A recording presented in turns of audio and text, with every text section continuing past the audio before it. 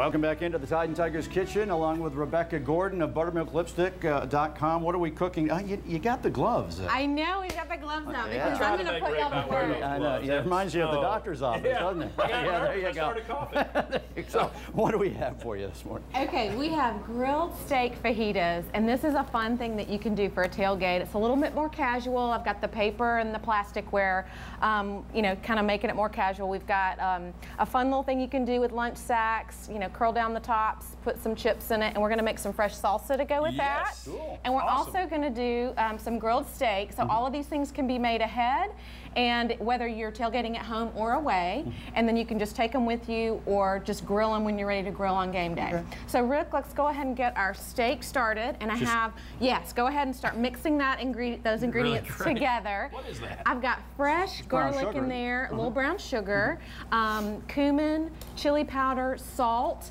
and a little crushed red pepper for some heat. Whoop. Add a little bit of oil in there. I've got three tablespoons of olive oil, and we're making a paste. And you can just simply Oh, rub I love that. a rub. I love I the know, rub. isn't it easy? Yes, unbelievable. It's great. You can go ahead and put that, like you want to rub both sides of the steak with that. We're using flank steak to, today. And I like to take um, the pan that the steak comes in and use that to kind of contain everything. Oh, we. And Oh, you can either go 20 minutes or 24 hours. That's the great thing about this. So we Rub need to that get meat, Rick. Uh, Come on. Let's go ahead and Get the fresh salsa started. Uh-huh. And so I've got a little garlic here. Do- and do if I do this? Yeah, you can do that and then pop that into our Hamilton Beach food processor. This is going to take four pounds of tomatoes. And so, So I do cutting this up too? yes, and then you want to put that in the food processor. I'm going to right. slide behind you All and right. grab a little fresh cilantro out of the refrigerator.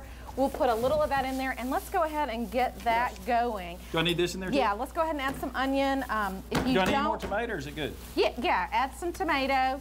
I like to go ahead and process it a little bit with a little tomato and get all those vegetables nice and chopped, and then we can put the rest Add of the more in? tomato in. I just put a handful of fresh cilantro in there. All right. Just, but let's take the paper towel out. That's a bonus. There's a treat. If you eat that, you win the prize. Okay, and then we're gonna just pop the lid on, and you can just do that on low and get that going.